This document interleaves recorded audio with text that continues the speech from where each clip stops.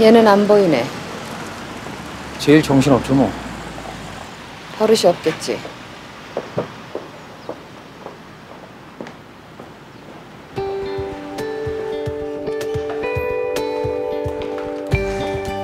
아 바쁘죠? 어, 남 실장님.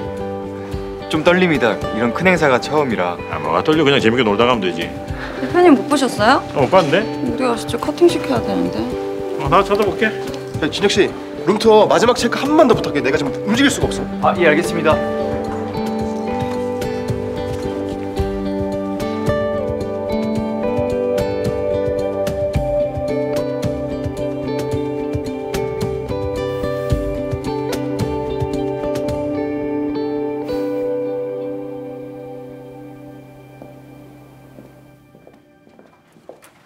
어, 대표님.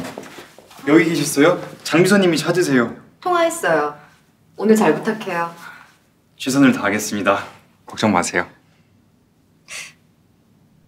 넥타이가 마음에 안 들어요? 사은품이어서 별론가? 사은품 아닌데. 아, 그게 좀- 여기 있는데 제가 잘 못 매서요. 길이가 길다가 짧다가 아직 좀 더 연습을 해야 될 것 같아요. 그거 좀 풀어봐요.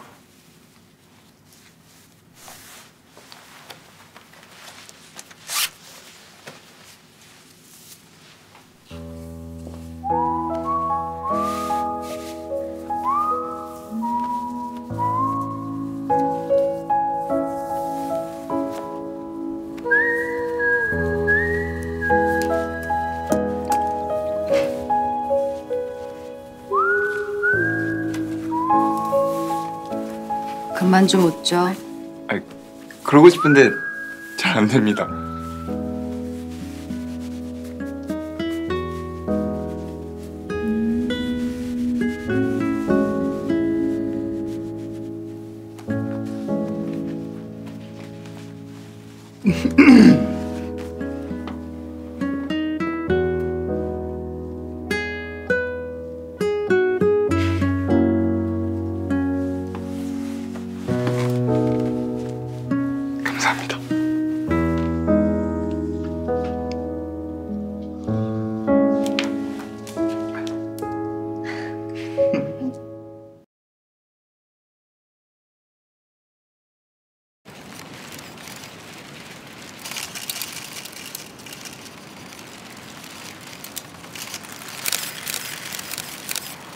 객실 투어 잘 준비되고 있지? 예, 지금 김진혁 씨가 준비하고 있습니다. 자, 그럼 지금부터 속초 동아호텔 오픈을 기념하는 커팅식을 시작하도록 하겠습니다. 하나, 둘, 셋, 커팅을 시작해 주세요.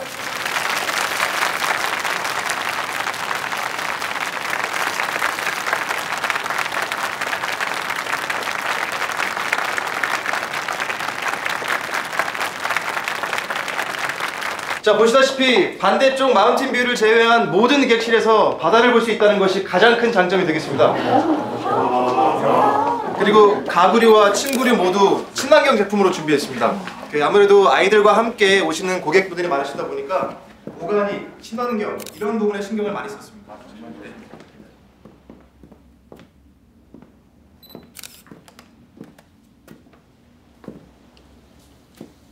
서울에서 인사했죠? 예. 안녕하십니까? 넥타이가 남다르네요. 우아하면서도 캐주얼하고 좋다고요. 선물 받은 겁니다. 제 안목이 이렇게 근사하지 못하거든요. 선물한 사람 안목이 탁월한 것 같네요.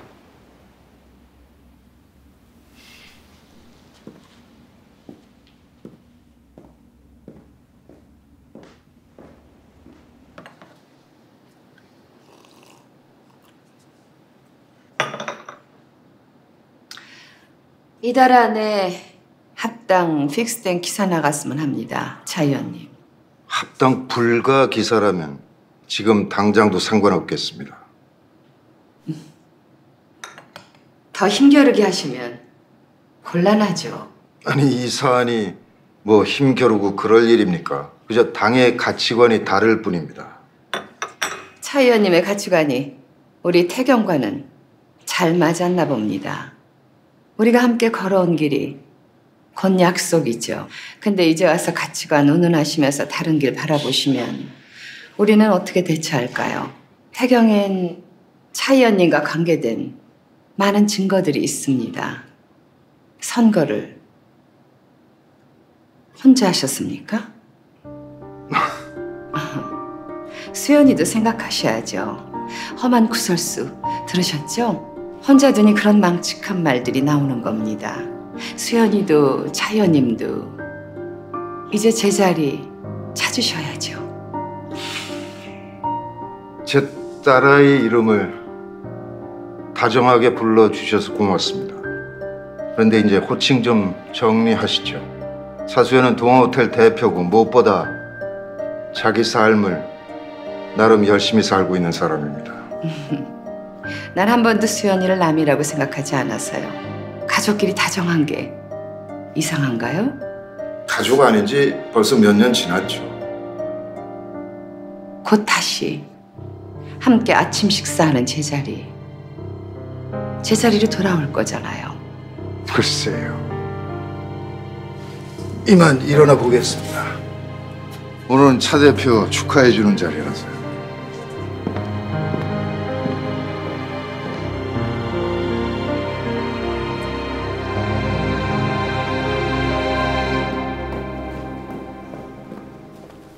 최 이사님 자세히 좀 볼까요? 김진혁 씨?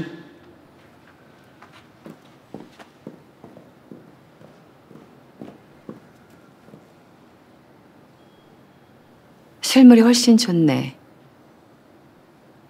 아, 인사드리세요. 동아호텔 모기업인 태경그룹 회장님.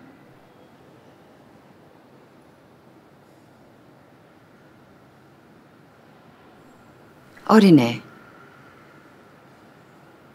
우리 수연이가 외로웠나?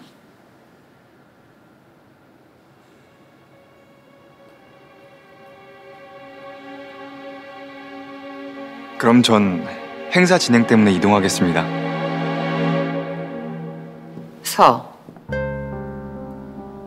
내가 아직 가보란 말 안 했는데 직원 교육이 엉망인 건가? 대표 등에 업고 까부는 건가?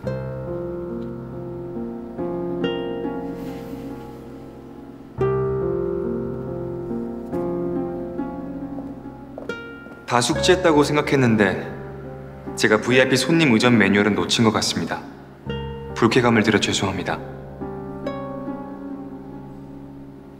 전화. 이 정도 실력이면 우리 수연이 그 애가 넘어갈 만하네. VIP 의전 교육 매뉴얼은 회사 교육안에 있을 거고 외로운 돈 많은 여자 마음 홀리는 매뉴얼은 어디에 있나? 가자. 가자, 가자.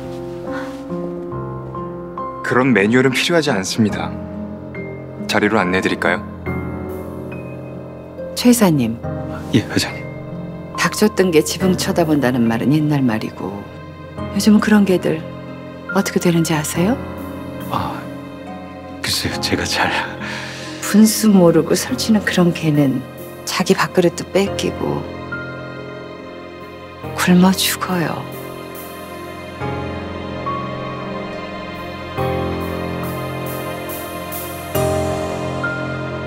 여기 계셨어요.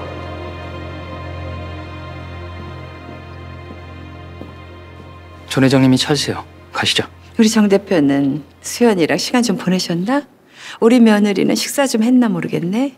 전 회장님 미팅하시고 다시 오시죠. 아직 행사 시작하려면 시간 좀 남았어요. 제가 모실게요.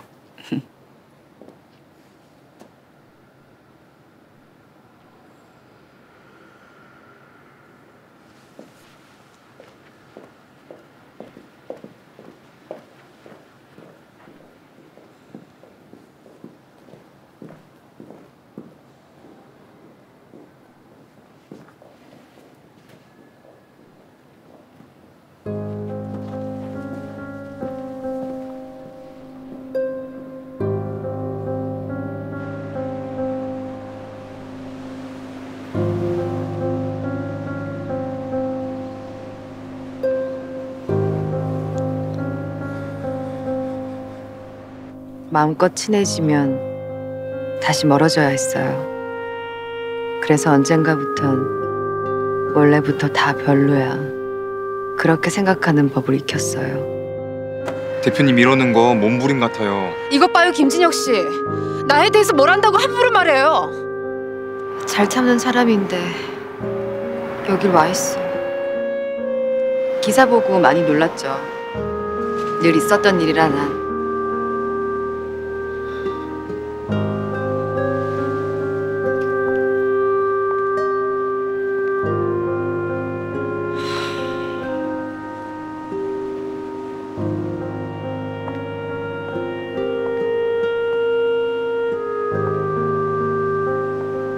괜찮아?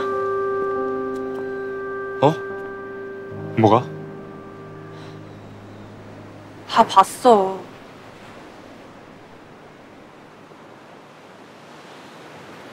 어디 가서 좀 쉴래? 연애정 서포트는 내가 할게. 너 지금 이대로 이렇게 살았어. 이런 말들을 처음 들었거든. 근데 그 사람 이런 모진 말들을 이런 말도 안 되는 태도를 얼마나 견뎠을까?